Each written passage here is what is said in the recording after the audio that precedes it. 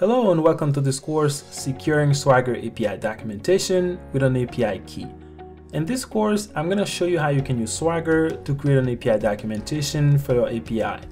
We'll start by defining what an API documentation is, why you would want to create one, why you might want to use Swagger for your API documentation. Then we'll move on to the IDE and I'll show you how to implement and configure Swagger to require an API key for your application.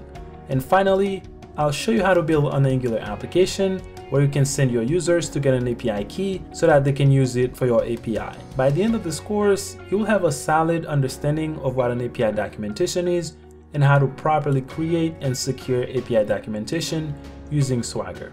We have a lot to cover in this course. I hope you're excited and I will see you in the course.